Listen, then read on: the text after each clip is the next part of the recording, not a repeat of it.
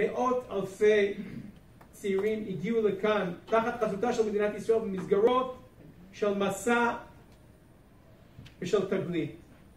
אם אותם אנשים, אם אותם צעירים וצעירות רוצים לעלות ארצה, רובם יקבלו סטירת לחי. ויותר מזה, אם הם מצליחים לעלות ארצה, ודאי וודאי ממדינת ישראל, אני לא מדבר בשם הרבנות, אני מדבר על מדינת ישראל שמיוצגת על ידי הרבנות. הם ישמעו בפעם הראשונה שנכון, הגעתם ארצה, אבל אתם לא יהודים. וזה דבר שאנחנו באמת רוצים לעודד עלייה. אנחנו צריכים להתחיל לעבוד, לעבוד כאן, לא רק לעבוד שם.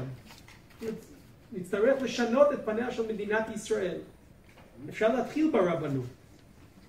הרבנות היא אגף של מדינת ישראל, והרבנות צריך לבוא ולהגיד, אנחנו קמנו כדי להיות חלק מעם ישראל, ולא בעצם לשרת רק אגף אחד שאנחנו רואים אותה לעינינו.